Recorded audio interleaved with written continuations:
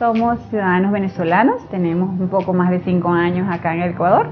Nosotros arrendamos una casa aquí mismo en el barrio San Blas.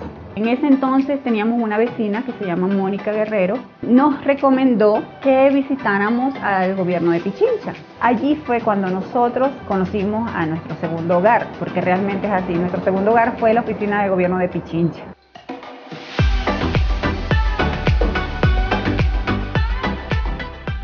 Nuestra cafetería restaurante se llama Café Romance. Al principio nos, nos basamos en eh, arepas y empanadas de pollo porque Correcto. ella había logrado perfeccionar el guiso de pollo con un sabor muy particular.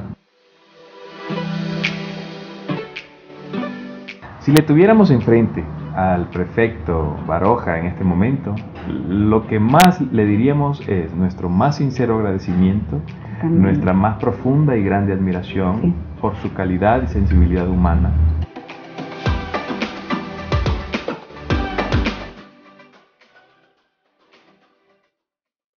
Prefectura de Pichincha. Dejamos huella.